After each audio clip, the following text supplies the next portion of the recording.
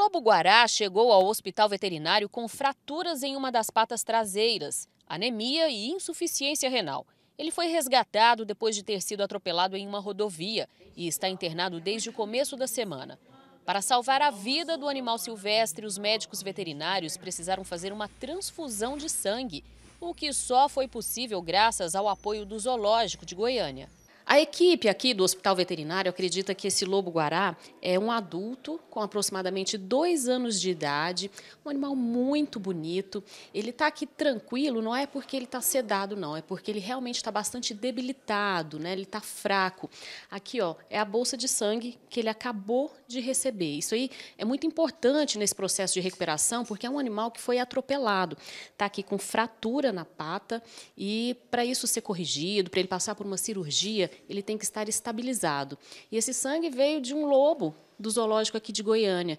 E essas próximas 48 horas são as cruciais, são as mais importantes para os veterinários terem aí a noção de que se ele vai ter uma boa recuperação ou não. E a gente está aqui acompanhando isso. A gente está torcendo para que ele melhore logo com, a, com apenas essa bolsa, para que ele vá para a cirurgia e volte para o CETAS para terminar a recuperação. O Hospital Veterinário, onde o Lobo Guará está, tem parceria com o Centro de Triagem de Animais Silvestres, unidade que acolhe animais resgatados em situação de perigo.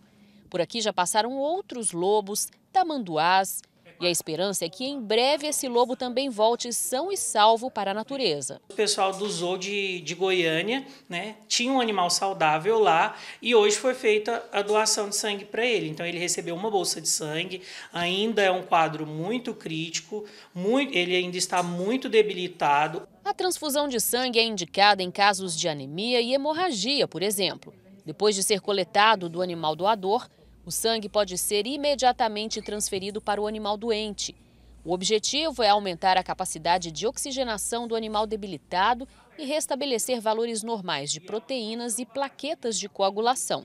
O tratamento do lobo-guará só é possível graças a Jade. A fêmea, de 8 anos de idade, está entre os oito lobos que vivem no zoológico de Goiânia. Chegou por aqui ainda filhote e agora está ajudando a salvar a vida de um companheiro de espécie.